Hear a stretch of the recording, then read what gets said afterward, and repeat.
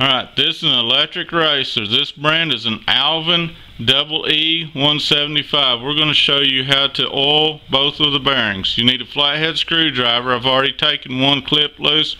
Put the flathead underneath the clip, pry up,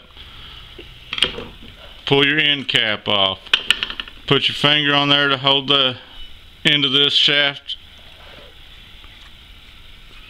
Twisting this end off allows you to get to the other bearing.